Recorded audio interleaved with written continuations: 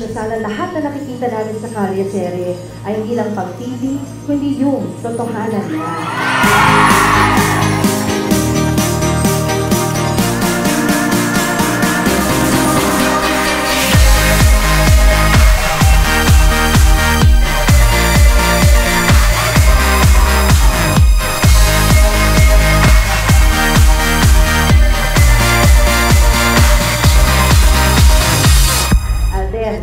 You prayed so hard for this moment to come. God didn't just answer your prayers with a long overdue recognition and fame because you really are a good actor, a very talented one, a good boy, a good man.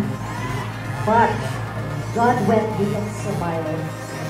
He sent an angel. He sent me.